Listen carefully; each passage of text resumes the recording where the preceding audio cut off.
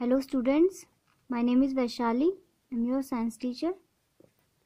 So today we will continue our 19th chapter that is pollution of water and air. In the previous video we will discuss uh, what are the natural resources, water, water pollution and in this video uh, we will discuss what are the main causes of water pollution. Okay. Previous video में हमने यहाँ से छोड़ा था तो यहीं से start करेंगे। तो मेन कॉजेज ऑफ़ पॉल्यूशन क्या हैं? कौन कौन से कारण हैं जिनकी वजह से वाटर पॉल्यूट हो रहा है? तो जितने भी इम्पोर्टेंट कॉजेज हैं हम उनको यहाँ पे पढ़ेंगे। तो फ़र्स्ट क्या दिया हुआ है? सीवेज सीवेज आपको पता ही है क्या होता है? जो भी वेस्ट वाटर हमारे घरों में से निकलता है तो वो सारा कहाँ पे जाके डिस्पोज होता है? रिवर्स के अंदर। सीवर लाइन से होते हुए वो सारा रिवर्स के अंदर डिस्पोज होता है। तो रिवर्स को पॉल्यूट करता है ये। और कैसे ऐड होता है? जो भी विलेजेस वगैरह होते हैं कुछ विलेजेस ऐसे जहाँ पे अभी भी ओपन डेफिकेशन होता है। तो जब भी रेनफॉल होता है तो रेन वॉशेस कर देती है उस ओपन डेफिकेशन को। एक्सक्रीटा को ह्यूमन एंड एनिमल एक्सक्रीटा जो फिर से क्या होता है? जो भी near by water body present होती है तो उसमें जाके वो ऐड हो जाता है। तो जो भी नियर बाय वाटर बॉडी होगी तो वो भी फिर से क्या हो जाएगी? पॉल्यूट हो जाएगी। फिर से वाटर पॉल्यूशन होगा। ह्यूमन एक्सक्रीटेंट एनिमल डंग की वजह से। ओके तो इन वेस्ट में क्या होता है? हार्मफुल ऑर्गेनि माइक्रो ऑर्गेनिजम्स होते हैं, जैसे कि बैक्टीरिया वायरस फंजाई सब क्या है? डिसीज कॉजिंग माइक्रो ऑर्गेनिजम्स होते हैं। तो ये क्या करते हैं? बहुत सारी डिसीज को स्प्रेड करते हैं, जैसे कि डायरिया कोलेरा टाइफाइड ओके तो जो भी अनट्रीटेड सीवेज हम ऐड करते हैं रिवर्स में, उसका क्या है? ट्रीटमेंट होना बहुत ज़रूरी है, ताकि वो वाटर को पॉल्यूट ना करे, ना फिर वो डिज़ीज़ को स्प्रेड करे, क्योंकि इतने हार्मफुल माइक्रो ऑर्गेनिज्म पहले से ही प्रेजेंट है उसमें तो वो रिवर को रिवर में जाके ये सारे वायरस वगैरह ऐड कर देते हैं तो जो भी उसको वाटर को ड्रिंक करता है या फिर यूज़ करता है तो डिसीज़ क्या है? और ज़्यादा स्प्रेड ही होती है। तो इन अनट्रीटेड सीवेज को ट्रीटमेंट होना बहुत ज़रूरी है। तो हम इसको कैसे ट्रीट कर सकते हैं? केमिकल होता है क्लोरीन ये सारे जितने भी बैक्टीरिया वायरस फीकल मैटर में प्रेजेंट होते हैं, इन सबको क्या कर देता है? किल कर देता है। तो हम ऐसे सीवेज को डिस्पोज करने से पहले ट्रीट कर सकते हैं ओके नाउ नेक्स्ट है इंडस्ट्रियल वेस्ट। इंडस्ट्रियल वेस्ट क्या होता है? जैसे कि जितनी भी फैक्ट्रीज हो गई, leather, textile, paper and chemical industries होती हैं, ये सब क्या है? अपना प्रोडक्ट बनाने के बाद वेस्ट जनरेट करती हैं। उस वेस्ट में क्या होता है? बहुत सारे हार्मफुल केमिकल्स प्रेजेंट होते हैं। वो सब फिर से जाके कहाँ ऐड हो जाते हैं? रिवर्स में ओशियंस में, और जो भी नियर बाय वाटर बॉडी होती है।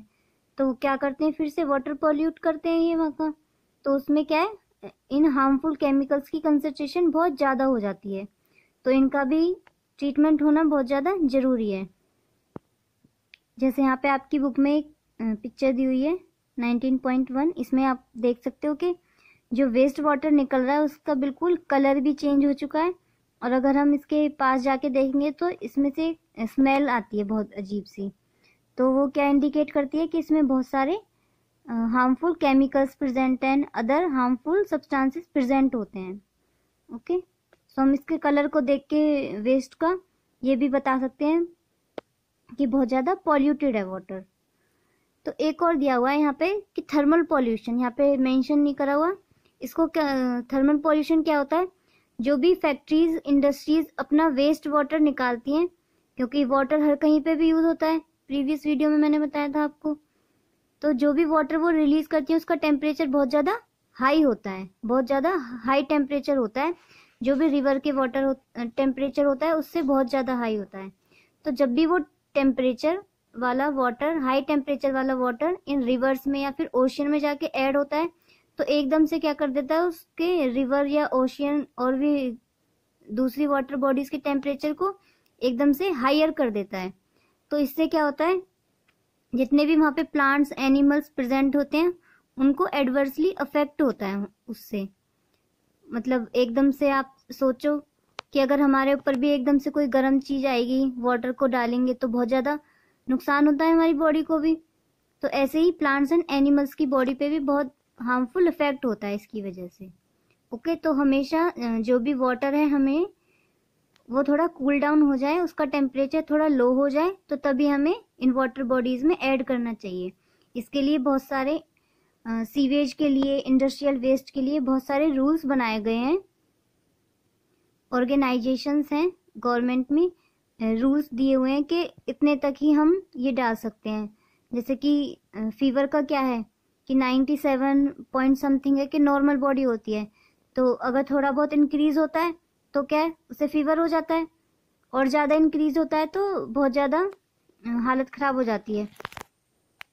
अगर fever one hundred three and four हो जाता है तो ऐसे ही क्या है? इनमें भी एक लेवल सेट करा हुआ है गवर्नमेंट ने कि आप इतने तक ही ये चीज़ डिस्चार्ज कर सकते हो। अगर उसका ज़्यादा होगा, जैसे वाटर का पीएच है कि नॉर्मल क्या होता है कि सिक्स पॉइंट सिक्स टू लेके सेवन तक प्योर वाटर माना जाता है। अगर उससे हाई होगा तो गवर्नमेंट बोलती है कि आपका ये पॉल्यूटेड है। इस चीज़ को आप ऐड नहीं कर सकते। बट क्या है? ज़्यादातर जगह पे इसकी मॉनिटरिंग नहीं होती और ऐसे ही कंटिन्यू प्रोसेस चलती रहती है और वाटर पॉल्यूट होता रहता है। बस कुछ जगह पे है कि वो मॉनिटरिंग हो रही है। इसीलिए क्या है? गंगा या फिर यमुना, इन सब में भी क्या है? फैक्ट्रीज ये अपना डिस्चार्ज करती रहती हैं, अपना जो भी वेस्ट होता है। तो इससे क्या है, ये रिवर सारी पॉल्यूट हो चुकी हैं, बहुत ज़्यादा हाई लेवल पे। नाउ नेक्स्ट है fertilizers and pesticides fertilizer and pesticides आपको पता ही है फार्मर्स यूज़ करते हैं अपनी क्रॉप्स की ग्रोथ को बढ़ाने के लिए। Okay farmers use chemical fertilizers and pesticides in their fields अब यहाँ पे केमिकल आ गया मतलब हार्मफुल केमिकल्स प्रेजेंट होते हैं। इनसे क्या होता है, उनकी जो क्रॉप होती है वो जल्दी से ग्रो कर जाती है और जितने भी पेस्ट वगैरह होते हैं, उनसे छुटकारा पाने के लिए mainly fertilizer and pesticides use किए जाते हैं। अब जब भी रेन वॉश होता है इनका तो ये सारे कहाँ जाके मिलते हैं? रिवर्स में या फिर कोई भी आसपास वाटर सोर्सेज हो गए उसमें जाके मिल जाते हैं। तो फिर से क्या हो गया? वाटर पॉल्यूट हो गया क्योंकि हार्मफुल केमिकल्स होते हैं फर्टिलाइजर्स होते हैं। और क्या होता है कि जब भी सॉइल के थ्रू नीचे जाते हैं अंडरग्राउंड जाते हैं तो धीरे धीरे जाके कहाँ मिल जाते हैं? ग्राउंड वाटर से मिल जाते हैं। लेवल ऑफ़ ग्राउंड वाटर होता है जो भी तो वहाँ पे जाके ये ग्राउंड नीचे जाके ग्राउंड वाटर को पॉल्यूट करते हैं। जैसे यहाँ पे एक एग्ज़ाम्पल दिया हुआ है pesticide such as DDT DDT एक बहुत हार्मफुल केमिकल होता है। फर्टिलाइज़र है ये जिसको यूज़ करते हैं। अब तो ये बैन हो चुका है बट कुछ जगह ऐसी हैं जहाँ अब भी ये इलीगल डाला जाता है फील्ड्स के अंदर। तो DDT can get into the bodies of fishes through the water ये वाटर के थ्रू आपको पता है, ये फिशेज तो रहती वाटर बॉडी के अंदर है। तो ये डीडीटी जब भी रेनफॉल के थ्रू वॉश आउट होता है किसी भी फ़ील्ड वगैरह से तो ये सीधा फिशेज जो भी होती हैं, उनके अंदर चला जाता है। अब ऐसे भी लोग हैं कि फिशेज खाते हैं कुछ तो ये फिर वहाँ से जो भी लोग फिशेज वगैरह खाते हैं तो ये ह्यूमंस के अंदर चला जाता है। तो ह्यूमन बींग्स ने ही प्रोड्यूस करा और फिर उन्हीं के अंदर ये चला गया। Okay get poison if they eat these fishes हाँ और क्या होता है इनसे फर्टिलाइज़र से? जितने भी फर्टिलाइजर्स होते हैं, जब इनका रन ऑफ़ होता है वाटर सोर्सेज में तो ये क्या करते हैं? इंक्रीज कर देते हैं एलगी की ग्रोथ को। इससे क्या होता है? आपको पता ही है एलगी क्या एक लिविंग मैटर है। वाटर बॉडी के ऊपर प्रेजेंट होता है, काई देखते हैं ना, बहुत सारी जो भी आपने देखा होगा छोटी छोटी जगह होती है तो उसमें ऊपर की तरफ़ ग्रीन कलर का कुछ तैरता रहता है, उसे एलगी बोलते हैं। तो वो क्या करती है, जितनी भी ऑक्सीजन डिजोल्व होती है वाटर के अंदर, वो सारी एब्जॉर्ब कर लेती है, वो अपने अंदर ले लेती हैं। तो धीरे धीरे क्या है ऑक्सीजन कम होने लग जाती है वाटर के अंदर से। और जितनी भी, जब भी ये एलगी डाई होती है तो फिर इसको फ़ीड करने के लिए डिकम्पोजर्स आ जाते हैं बैक्टीरिया हो गया।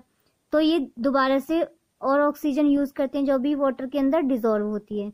तो इससे क्या है, बहुत ज़्यादा ऑक्सीजन की कमी आ जाती है उस वाटर बॉडी के अंदर। वाटर जितना वाटर सोर्सेज होता है जो भी तो फिर क्या है, अब प्लांट जितने भी कमी आएगी तो प्लांट्स और जितने भी वाटर एनिमल्स होंगे वो कहाँ से रेस्पायर करेंगे ब्रीथ कहाँ से लेंगे? तो उनको बहुत ज़्यादा अफेक्ट होता है। और क्या होता है? अब इसकी एक मोटी सी लेयर जम जाती है वाटर सरफेस के ऊपर। तो ये सनलाइट को भी रोकती है। Then this enrichment of water by nutrients which leads to excessive plant growth and depletion of oxygen is known as eutrophication इस प्रोसेस को क्या कहते हैं? जब भी बहुत ये क्या है? बहुत ज़्यादा न्यूट्रिएंट्स बढ़ जाते हैं। क्योंकि जितना भी रन ऑफ़ हुआ है, बहुत सारे फील्ड्स में से, ये सारे फर्टिलाइज़र एंड पेस्टिसाइड्स को लेके एक वाटर बॉडी में इकट्ठा कर देते हैं तो बहुत ज़्यादा न्यूट्रिएंट हो गए वहाँ पे। तो enrichment of water by nutrients ये क्या करता है? बहुत ज़्यादा ग्रोथ कर देता है एलगी की। और फिर क्या है? डिप्लीट हो जाती है, उसमें से ऑक्सीजन कमी हो जाती है। तो इस प्रोसेस को बोलते हैं यूट्रोफिकेशन बोलते हैं। ये क्या करती है? एडवर्सली अफेक्ट करती है वाटर प्लांट्स को एंड केमिकल्स को। नाउ जितने भी केमिकल फर्टिलाइज़र एंड पेस्टिसाइड्स होते हैं वो इजिली नेचुरल मेथड से डिकम्पोज नहीं होते। इनके लिए बहुत सारे एडवांस uh, मेथड होते हैं जिनसे ये कुछ लेवल तक डिकम्पोज होते हैं। कम्प्लीटली डिकम्पोज नहीं होते ये। तो ये एक तरह से क्या है? नॉन बायोडिग्रेडेबल होते हैं। Therefore they go on accumulate and pollution increase accumulate होते रहते हैं एनवायरमेंट के अंदर। एंड पॉल्यूशन इंक्रीज होता रहता है। तो साइंटिस्ट क्या कर रहे हैं? ऐसे पेस्टिसाइड बना रहे हैं जो बायोडिग्रेडेबल हो, आसानी से डिग्रेड हो जाए और मिक्स हो जाए सॉइल के साथ।